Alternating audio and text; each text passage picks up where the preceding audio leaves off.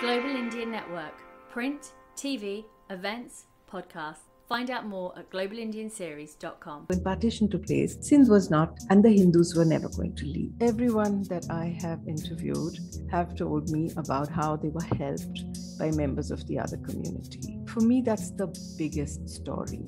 That though we know that there was so much of violence and so much of murder and rape and kidnapping, abduction, we know that because those are the stories that always make the headlines. But the fact is that people were protecting each other and they were doing that at the risk of their own lives.